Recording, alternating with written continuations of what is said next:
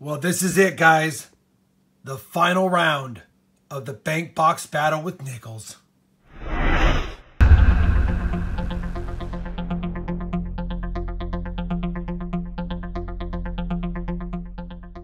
Hey everybody, it's Rob with Rob Finds Treasure, and like I said in the intro, it's round 10 to decide the winning bank for nickel boxes. You'll recall, if you've been following the series, right now, 32.9 points per box. Chase is in first, with B of A not far behind at 30.4, and Wells Fargo keeping it pretty tight at 29.3. Wells Fargo has still yet to find a Buffalo nickel. We still haven't found a V-nickel out of these 27 boxes. Could there be one in these? You never know until you get into it. Long story short, though, Chase averaging more than two and a half points per box more than the second place box with nine boxes in is going to need to be beaten by like 25 points to even have a chance to lose its seat at the top. We're going to kick it off with Wells Fargo since it is in last. Then we're going to go with B of A, second, since it's second. And then they'll give us something to see if Chase can close it out. I've already checked them all for enders, at least on the top couple of rows on these boxes. And of course, I can always see all the enders on the one side of all of these. And uh, yeah, looks like a short box, but it's just kind of funky the way that it's positioned. So let's get into it. First roll of the Wells Fargo box, and it kicks us off with a 49 nickel. Is it a D? It's a Philly. Okay, guys, we're on roll six, and I'm a little excited. Look at the nickel I just uncovered is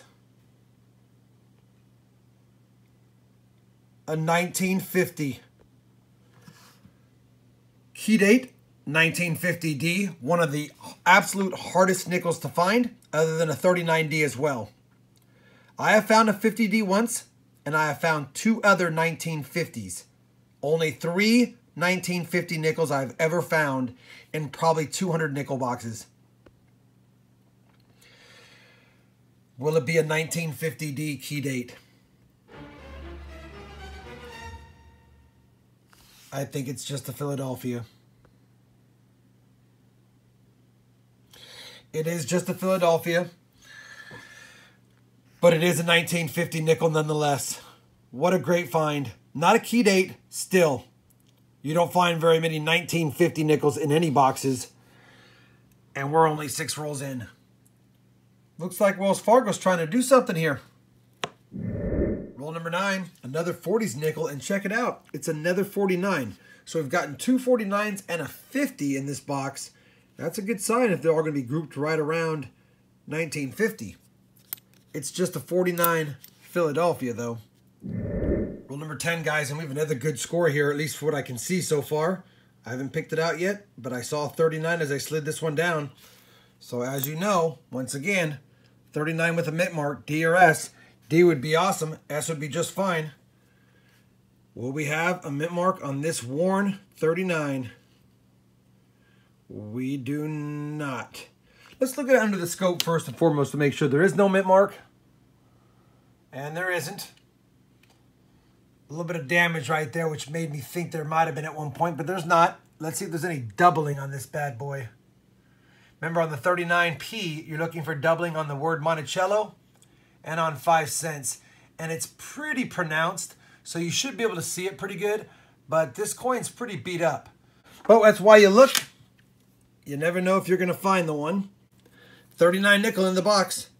We're finding two key date years along with some 49s, which is also a known variety. So that's pretty good start. Let's see what else this box has. Roll number 16. We had an old Jefferson Ender, 1940. And it's a 40S. And it's a 40s nickel. All right, let's find some more. Same exact roll. And we've got a 51. Is it a D? It is. Nice find. Semi-key date, 51D. And again, another nickel right in this 50s part of the years. So that's a good find. And we're only 16 rolls in. Roll number 17, and we've uncovered a reeded edge. Probably going to be a foreign. Maybe a pence.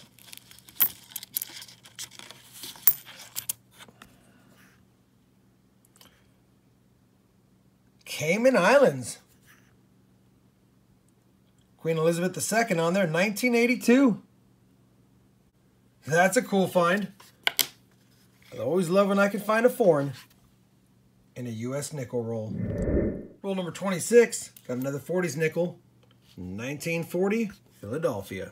Roll 28, another 40s nickel out of Philly. Roll 32, guys, and this is going to be an absolute first for me. It's damaged, but it's a second 1950. Philadelphia. I don't want to sound discouraged. That's still cool. Two 50s nickels in the same box. Literally three nickels behind it. Another 39. Another 39 Philly. Any doubling?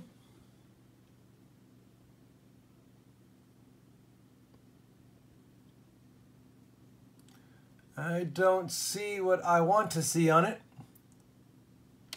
So I'm going to say no, but that's two 39s and two 50s in the same box. Roll 33, just laid them out, and look what popped up.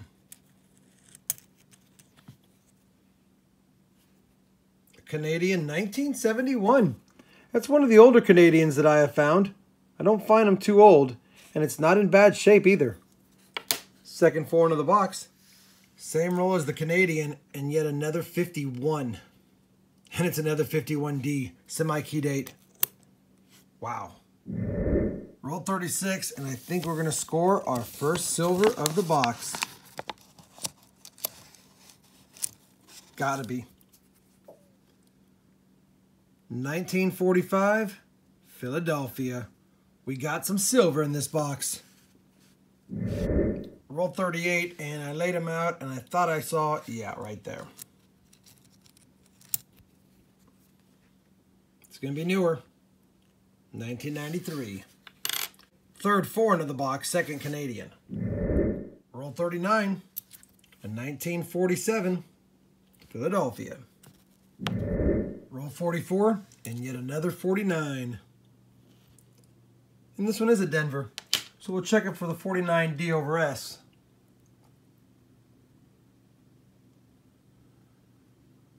Uh,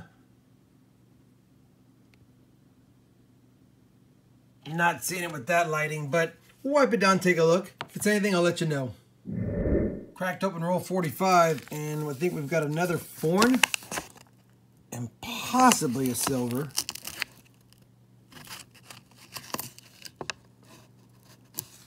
We do.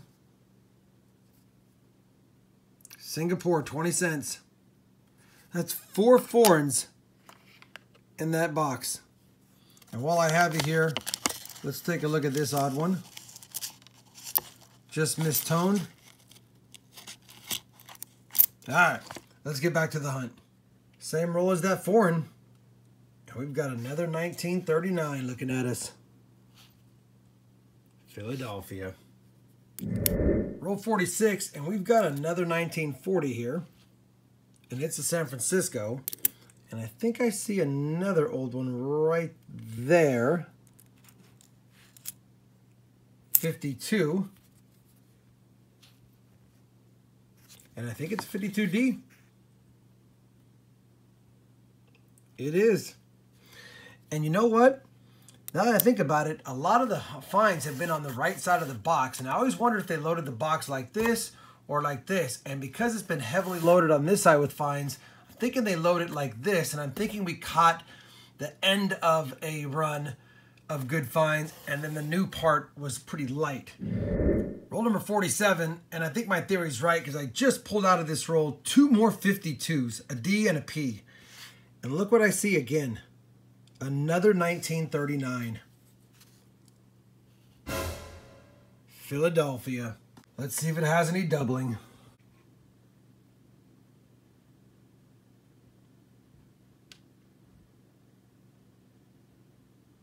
No such luck, but this box has been loaded with early Jeffersons.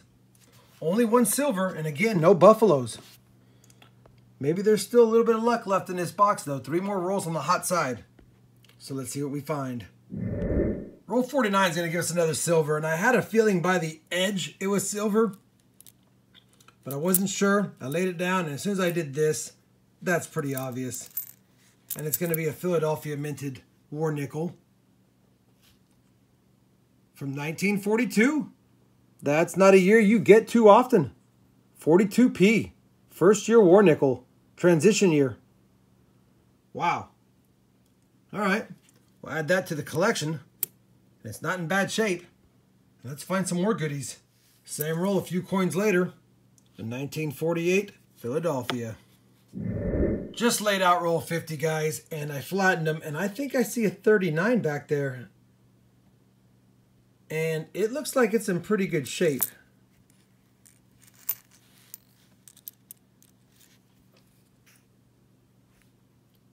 Eh, it's not as in good shape as I thought, but it is a 39 for sure.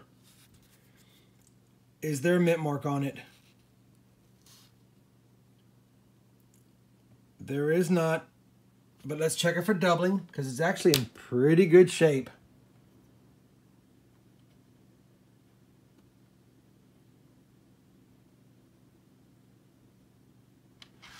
We couldn't score any uh, doubling or mint mark, but yet another 30s nickel.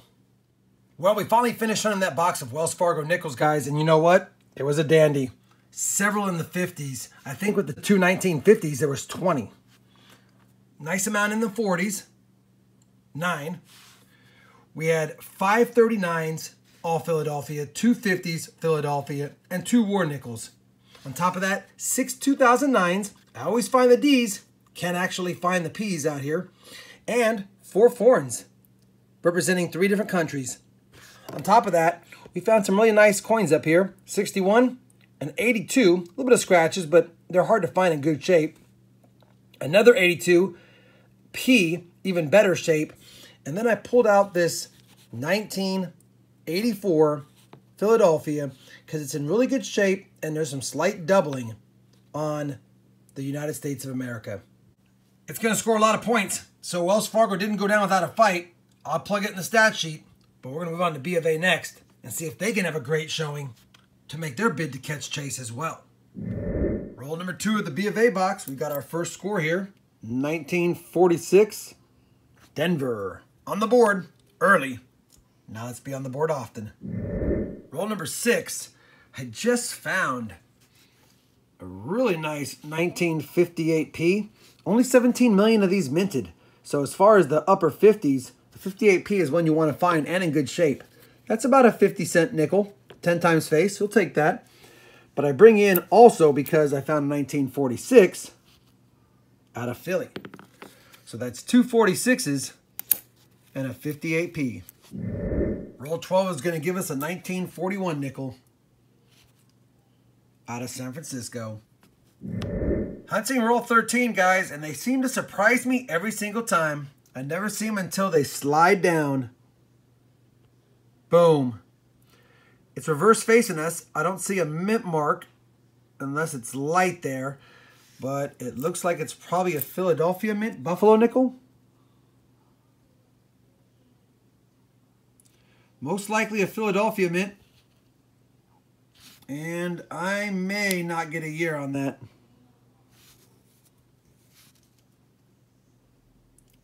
Maybe I will. Let me put it under the microscope and see if we can see either a mint mark on the other side or a date on this side. Put it right here. Definitely no mint mark. And man, it looks like it's either a 1918 or a 1928 or a 1923. I don't think it's a 1913, I guess. I look at the back one more time. It is a Type 2 if it is a 1913. I don't think it is. Let me see if I can look at that under the loupe. I believe that's either a 3 or an 8 because it looks closed down here. And I can't tell if that's a loop or if that's just a 1918. Let me do a little looking at that and I'll bring it back in. Well, as luck would have it, I really can't make it out. And it is almost legible.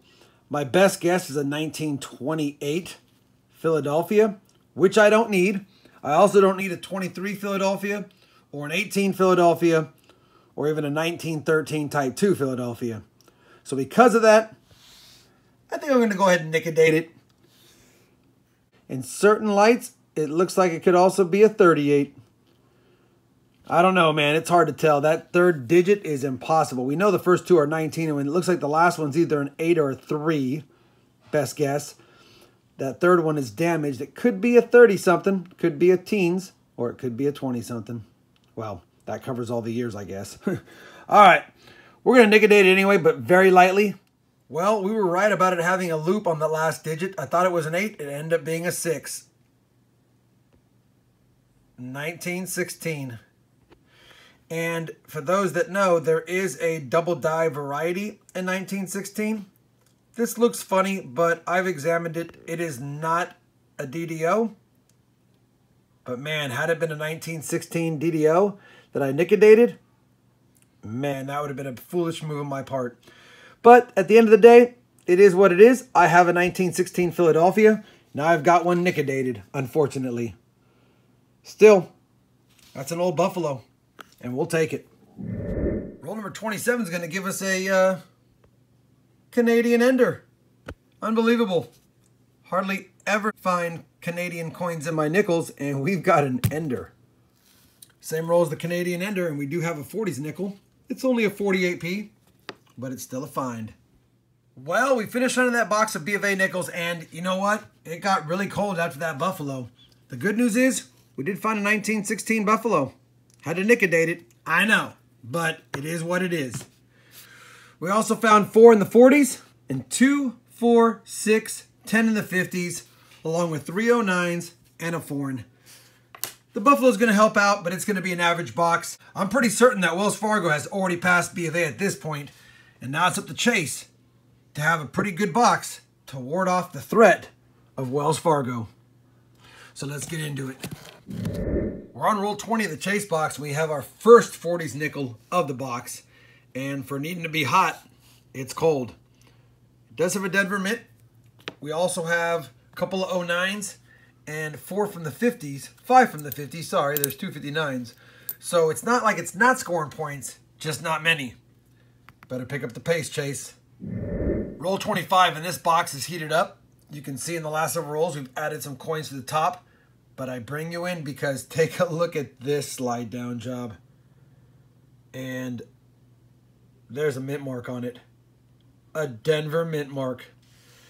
So we've got a Buffalo in the box. It's got a Denver mint. It's got decent detail. Not the greatest. It's going to be tough to see if there's a date. and there's not. So hopefully we might have an overdate on a 1918 over 17. We know it's not a three-legged or three and a half. It's got all its legs. But it does have a Denver mint. I'll have to look under the loupe and the microscope and get back to you guys. So I can't quite get a date off it. There's no way. I've checked every possible way, different lighting. I mean, the scratches on the date section are throwing it off to even have a chance. Too many different ways to look at it. And after that last fiasco, I'm afraid to nicodate it. But you know what? We got to do it. We got to know it. And if it ends up being something great like a 1913D, oh well. You know what? The Nic-A-Date takes a lot of the value away, but $120 nickel times 10 or 20%, still worth more than a dollar it is now. So we're going to go for it and see what we find. Well, as luck would have it, we just found the third most expensive nickel other than the varieties, is like the heirs of the Buffalo series. Less than 4 million minted, guys. Take a look at it. 1914. Let me see if I can get it in better lighting for you. You can see it right there. We had that Nic-A-Date on there for about less than five seconds. But that's what Nic-A-Date does, man. It's meant to wear it away. And we've got a 1914 right there. Denver Mint. In G4 condition, this nickel fetches 90 bucks. Now, the back is G4. The front's probably about good. And now that we've nickodated it, we're only going to see probably 20% of the value. Still a hard nickel to find to complete books. So I'm okay with nickodating it. A 1914 D nickel in the box. Third best nickel you can get other than the overmint marks and legs missing and things like that. Crazy. That is probably my best nickel find in a box of nickels in a while. Why couldn't we just see the date? Oh well. I'm still happy to have it. 1914 Denver Mint Nickel. And I bet you I need it for my set. Page one. We don't have a 14D. It's nickodated, but we got one now. Figured I'd take a page out of the red book and just show you why I was excited about it. 1914D, 3.9 million minted in G4 condition, 90 bucks.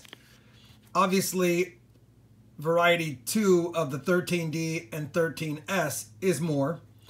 And if we omit double dies, overdates, things like that, it is the third most expensive nickel behind the variety 2s of 13 DNS. $90 nickel. Unbelievable.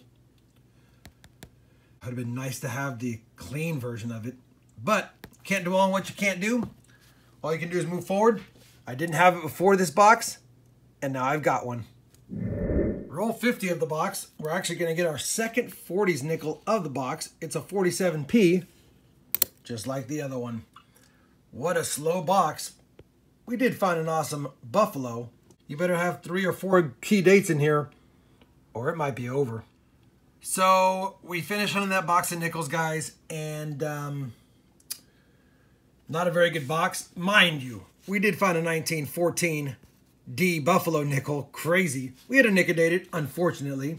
But outside of that, two 40s, handful of 50s, and a couple 09s. There's no way this bank box is going to score a lot of points. I have to make it official, but I'm pretty certain Wells Fargo might have took this in the last box. Well, it's official. Wells Fargo sticks up a 68 point box. Chase puts out a 21 point box. And B of A finishes with 26.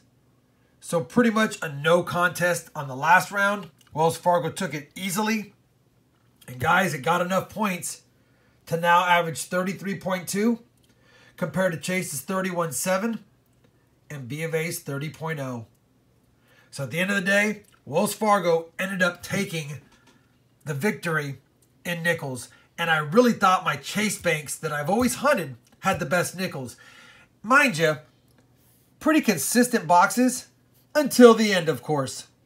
But even if they had gotten 11 more points on an average box, or even 12 more points, that's really only one or one and a half points more box, and it still probably wouldn't have won. So that being said, makes me think I got to start considering getting more boxes at Wells Fargo. We'll have to see how this goes. Hopefully you enjoyed this final battle of the Nickel Bank Box Battle Series. We do plan on doing an upgraded scoring system as well, like the pennies, and having another series started eventually. But this one's over for now. Congratulations, Wells Fargo. Good job, Chase. Not too bad, B of A. If you enjoyed this Battle of the Banks box series with Nickels, I'd appreciate a thumbs up. And as always, everyone, happy hunting and thanks for watching.